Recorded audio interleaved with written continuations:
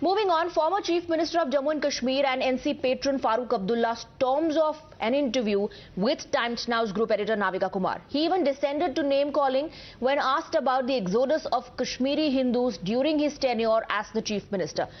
Let's take a look at the chunk. Joining me tonight on Frankly Speaking is a very special guest, uh, the long-serving Chief Minister, former Chief Minister of Jammu and Kashmir and uh, great national leader uh, who's seen several winters and summers in Indian politics, Dr. Farooq Abdullah. Dr. Farooq Abdullah, thank you very much for joining me on Frankly Speaking tonight. Uh, and uh, how do I begin to say? Kashmir की वादियां आज आपसे क्या कह रही हैं क्या कह रही हैं मौसम बहुत खुशगवार है। सियासी उथल पुथल है। और लोग इंतज़ार कर रहे हैं कि कब अब इलेक्शन का बिगुल बजेगा। इलेक्शन के बिगुल बजने तक कुछ ऐसे मुद्दे सामने आएँगे जो मुद्दे बहुत सालों से, दशकों से लोगों के दिल में नासूर की तरह चुभ रहे हैं। और कल ही जम्मू और कश्मीर हाई कोर्ट ने डिसाइड किया कि रीस्टार्ट होगा ट्रायल इनटू द नदी मर्ग मैसेकर ऑफ़ 2003 जिसमें 24 कश्मीरी हिंदूज को अपने घरों से घसीटा गया था और टेररिस्ट द्वारा मार दिया गया था। ये लश्कर तयबा के टेररिस्ट हैं। मैं पूछना चाहती हूँ, फारूक अब्दुल्ला साहब, क्या ये जो हाई कोर्ट का फैसला है आप इससे खुश हैं? ये खुशी का सवाल नहीं है, इंसाफ का सवाल है। बेगुनाह मारे गए।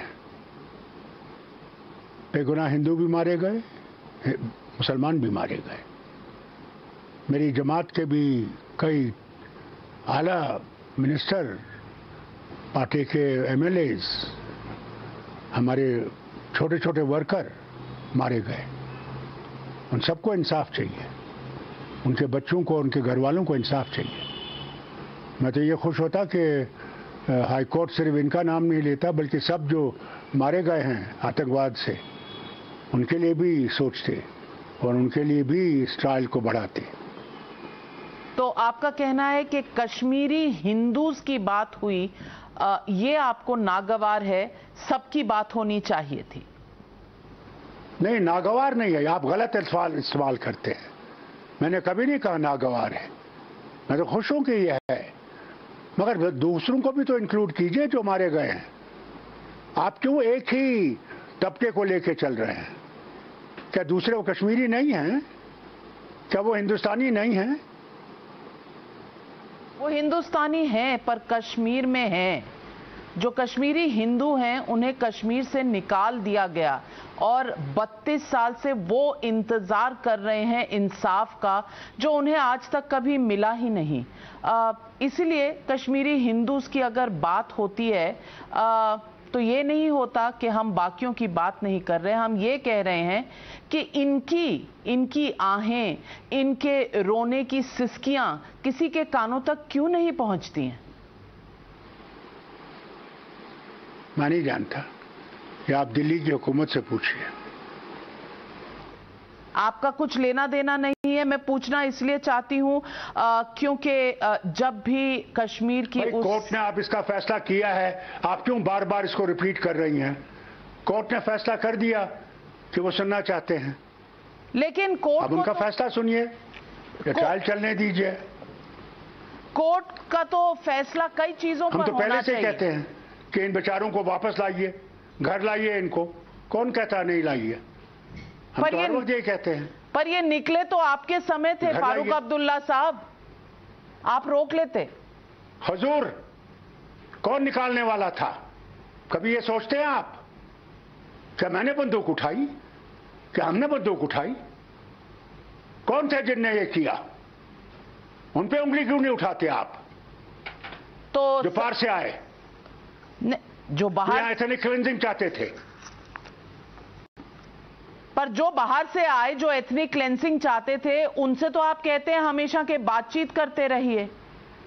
आप ये तो कभी नहीं कहते कि इन्होंने मारा है कश्मीरियों को हिंदुओं को देखिए आपको को। आपको आपको आ, मुसीबत यह है that your mind is one set mind it is not only I saying that वो बात करें। अभी आपने वो इंटरव्यू सुना वायर पे जो एक्स हमारे सबरवाल जो वहाँ पे हाई कमिश्नर थे उनने इंटरव्यू दिया। वो इंटरव्यू पढ़िए और उसके बाद देखिए वो क्या कहते हैं। मैं बात करना चाहती हूँ फारूक अब्दुल्ला साहब। आप कहते हैं कि जो ये नहीं फारूक अब्दुल्ला से ऐसी बात मत करिए मेहरबानी करके। मैं ये मैं इंटरव्यू बंद कर दूँगा अगर आप ऐसी बात करती रहेंगी। क्यों?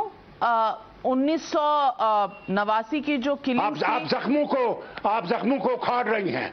आप जख्मों को उखाड़ रही हैं।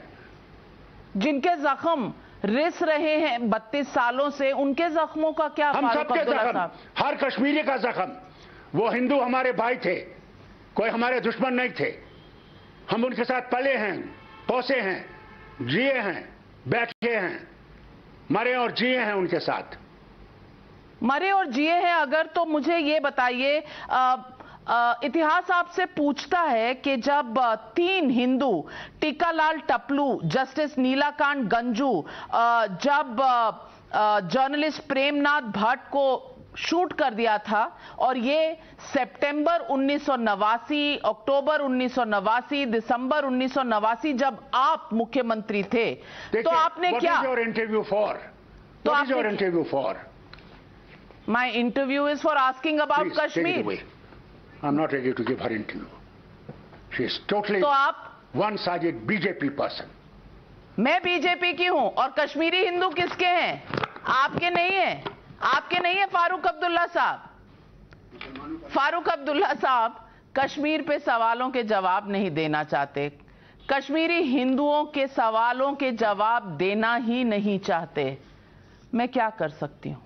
बड़ी कोशिश की कि कुछ जवाब मिल जाए। Some answers at least but no three questions not even three may be one and half question on Kashmiri Hindus and what happen to them क्या हुआ था उनके साथ? 1990 और उन्नीस में और फारूक अब्दुल्ला साहब उठकर चले गए। बस यही है फ्रैंकली स्पीकिंग कश्मीर के मुद्दे पर, कश्मीरी हिंदुओं के मुद्दे पर। Frankly speaking with Farooq Abdullah साहब, कश्मीर पर। कहते हैं, कश्मीरी हिंदू हमारे हैं, सब हमारे हैं। लेकिन उनके रोते हुए, सिसकते हुए आंसुओं को एक बार भी जवाब देने के लिए तैयार नहीं है फारूक अब्दुल्ला साहब। गुस्सा आता है उन्हें उनका क्या जो 32 सालों से इंसाफ ढूंढ रहे हैं, उनके आंसुओं का, उनके गुस्से का अंदाज़ा है किसी? को मैं छोड़ती हूँ, ये आज पब्लिक और व्यूअर्स के ऊपर कि वो तय करें, क्यों फारूक अब्दुल्ला साहब उठकर चले गए? All right, let's open this up and go across to our guests. We're joined by Shazi Almi, spokesperson of the BJP. We have Vittal Chaudhary, genocide victim and also an activist. And we have Ashwini Handa, political analyst on the broadcast as well. Mr. Chaudhary, I want to come to you first. Of course, uh, Farooq Abdullah was uh, angered, irked by questions, but he said, जो बाहर से लोग आए थे उन्होंने किया.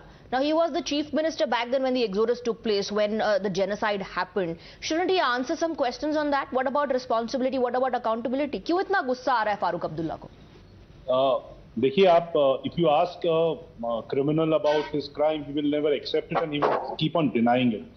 The reason for our exodus and our genocide is continuous uh, uh, uh, is the reasons are the junior, senior, and uh, sub junior, right from Sheikh Mohammed Abdullah to Farooq Abdullah to Omar Abdullah. These are the people who are genocide enablers of Kashmiri Hindus, right from 1931 to 2022.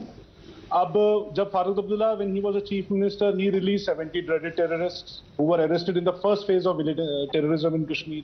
When Farooq Abdullah was the chief minister, there were 12 bomb blasts happening in a single day and he was busy playing golf when Jagmohan kept writing uh, about uh, you know, telling him about what is going to happen in Kashmir and right in 1985, 1986. It was this Farugullah who denied the entire thing and he said that this is not going to happen. So uh, I'm not surprised and I, I, I, don't think that any Kashmiri Hindu um, is surprised by his uh, uh, what he did on the show uh, with Navika today. He got angry because because he was asked the right question for the first time. First time there was a journalist who asked him a very difficult question and not danced with him. There were journalists who have danced with him, who have, who have you know, Um, uh, partied with him. This is the first time he was asked the right questions and he got irked and he left. It. We are not surprised. तो आप किसी मुजरिम criminal से आप पूछेंगे कि आपने crime किया हम्म। और वो गुस्सा भी ना करे तो ये तो आपकी ज्यादती है हम्म। उसको वो उठ के वो आपके चैनल पे आ गए यही उनकी बड़ी बात है at least he could come here but I think that uh, hats off to Navika for asking this question, having the courage to ask this question for Farullah for the first time. I have I have not seen anybody asking him this question. What I, what we have seen as um, as Kashmiri Hindus activists being thrown out of the uh, seminars when we have protested against hmm. um, terrorists and criminals in Delhi we have been through, we have never been allowed to even ask him questions when, when, when, when, when but, he was given uh, yes, awards after but, awards. But all through, all through uh, the interview, uh, Ashwini Handa, Farooq Abdullah ducked and dodged questions. He said, talk about others who have died. Why is he not comfortable talking about uh, the Kashmiri Hindus who had to face the genocide and the exodus as well? And he says, you know, question those who wanted ethnic cleansing. There were people who came from outside. Who were these people who came from outside? How did they settle there and carried out uh, the genocide? And, and uh, you know, nothing happened to them. No action was taken.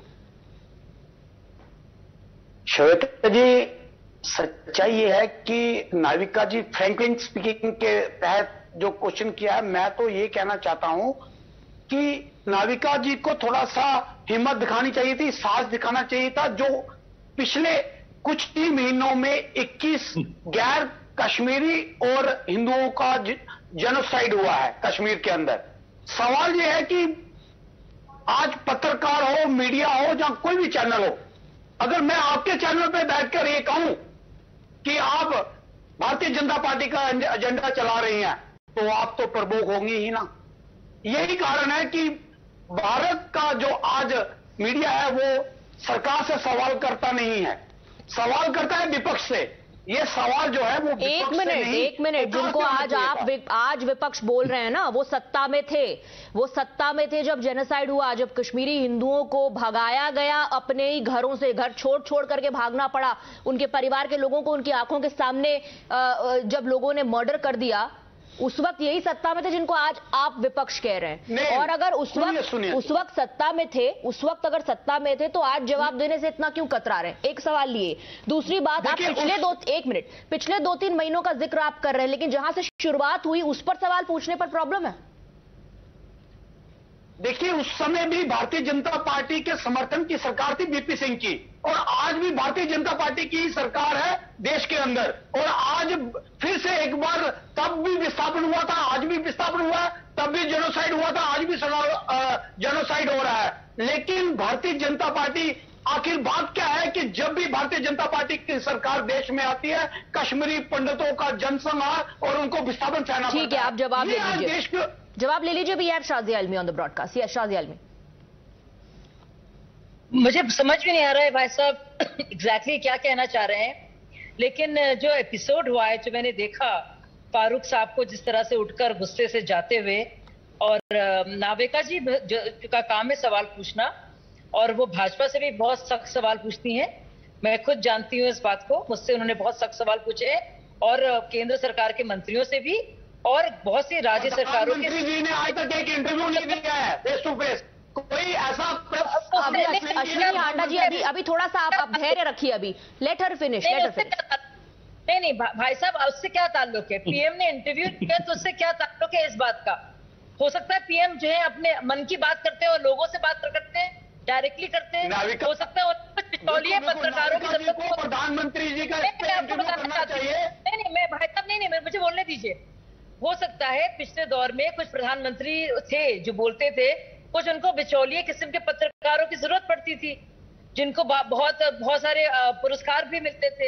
हो सकता है हमारे प्रधानमंत्री चीज़ें अलग तरीके से करते हो सीधे जनता के बीच में जाते हो। प्रधानमंत्री जी को हिम्मत दीजिए कि वो पत्रकारों के अब ये- ये- जी ये- अश्विनी हांडा जी जब आप बोल रहे थे nobody interrupted you but you are not allowing anyone else to speak please allow me to answer him. देखिए आपकी जो बद तहजीबी है ये दिखा रही है कि आपके पास कुछ कहने को नहीं है और मुझे लगता है फारूक अब्दुल्ला साहब ने जिस तरह से हम्म। उनके जो एरोगेंट एटीट्यूड है मतलब अब ये भी साथ साथ कह रहे हैं कि वो हमारे बीच के थे हमारे साथ के थे हमारे हिंदू भाई हम्म। लेकिन उनकी मौत के बारे में उन जिस दरंदगी से उनको बाहर किया गया मारा गया हम्म। नरसंहार हुआ और विस्थापित किया गया उसके बारे में ना कुछ आइडिया है ना प्लान है इतना तक कि अगर उनसे सवाल पूछा जाए तो वो गुस्सा होकर सवाल का जवाब नहीं देना। You know have to wrap up but mister Chaudhary quickly 10 seconds to you you wanted to counter mister Handa no I don't wanted to counter I just wanted to prove one thing that there was always been a policy of friendship before nation for with Congress and national conference and this is what you are seeing and the congress person is defending a genocider on on national television and it's not shame is not ashamed of it. And this mm. has been a National Conference and co- co- Congress. And this is what Jagmohan ji also exposed. All right. And this is what they denied, and that was the reason of our genocide. all right mr chaudhary ashwini handa and shazia almi that's all that i have thank you very much for joining us on the broadcast